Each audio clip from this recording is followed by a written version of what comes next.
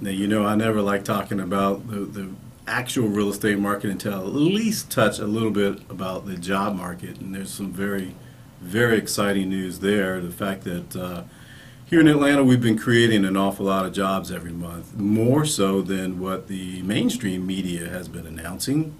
Uh, this last month, we created about 55,000 net new jobs.